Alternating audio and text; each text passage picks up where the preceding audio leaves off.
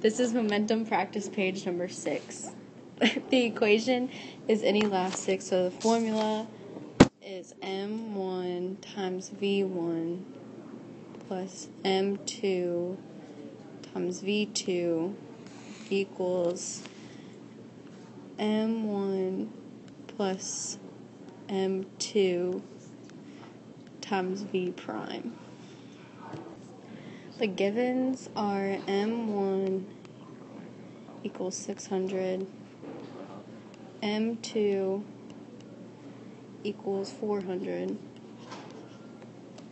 V1 equals 17,000, and V2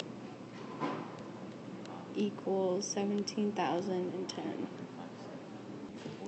When you plug that into the formula, you do 600 times 17,000 plus 400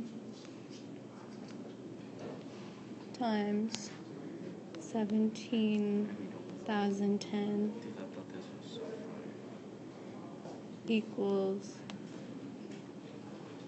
600 plus 400 times v prime. That simplifies to be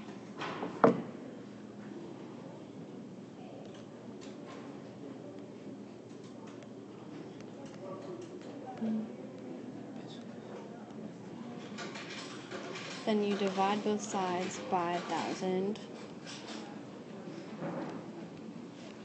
which leaves you with v prime being 17,004.